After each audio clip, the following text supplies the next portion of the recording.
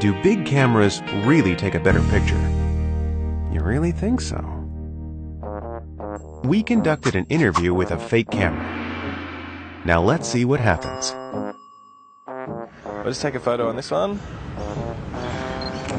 Have a look at the camera and tell me what you think.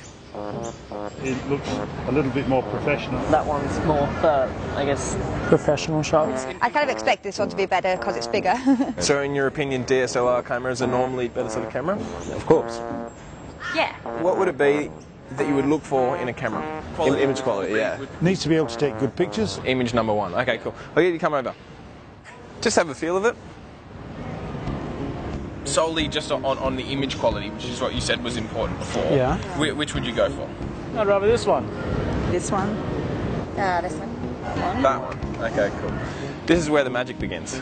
Safety goggles. Let me get a quick photo of you.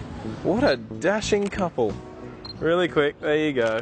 So when I say shoot wow, you say share now. We got that? Shoot wow. Share now. Share now. As if. Oh, you sneaky. Well, Oh, very good, very clever. Oh, oh. Magic doesn't stop there, guys. Have a look at this. Who's that? no way. What the heck? Who's this?